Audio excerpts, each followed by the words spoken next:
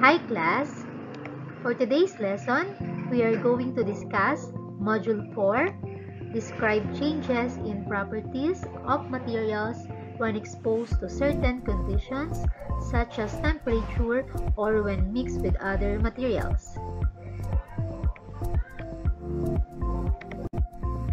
Our objectives for this lesson, you are expected to describe what happens to solid materials when mixed with other solid materials.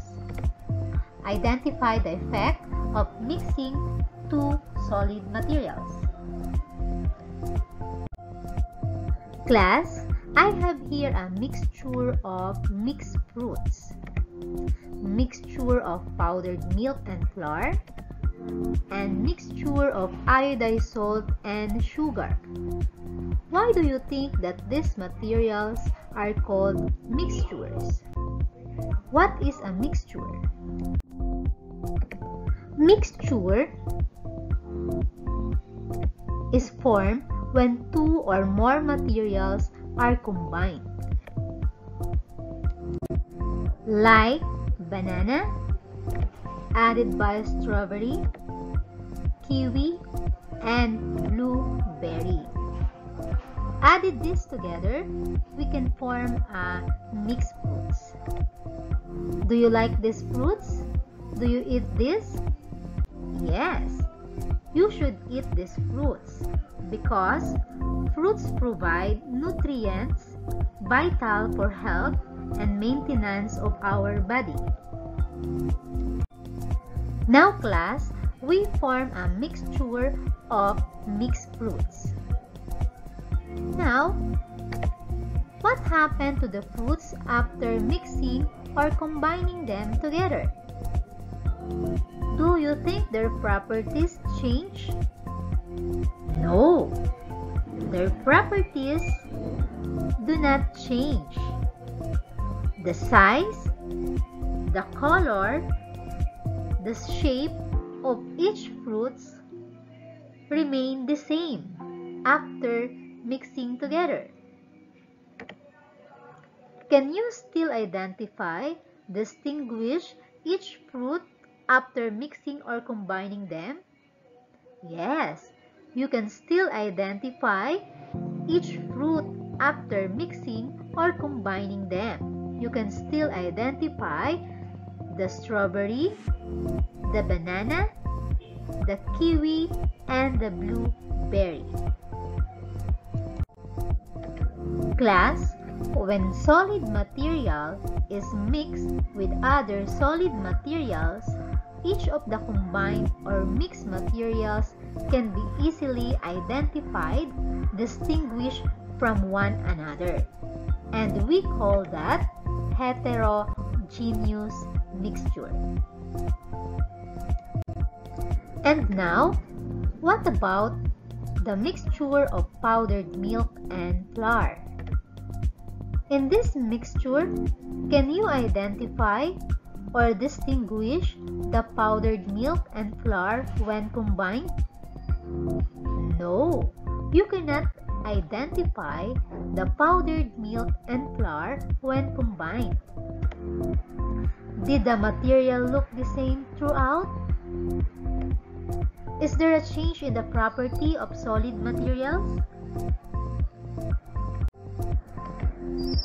Some solid materials, when mixed with other solids, cannot be distinguished from each other. The resulting mixture look the same throughout, and we call that homogeneous mixtures like mixture of powdered milk and flour. Powdered milk and flour combined together is an example of homogeneous mixtures. Iodized salt combined with sugar is another example of homogeneous mixtures.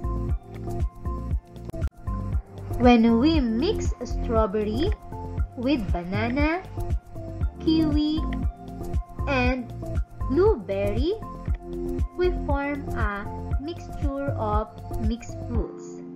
Mixed fruits is an example of heterogeneous mixture. Now class, what happened to solid materials when mixed with other solid materials like mixed fruits, powdered milk and flour, and iodized salt and sugar. When two or more materials are combined, a mixture is formed. Solid materials can be mixed, combined with other solid materials.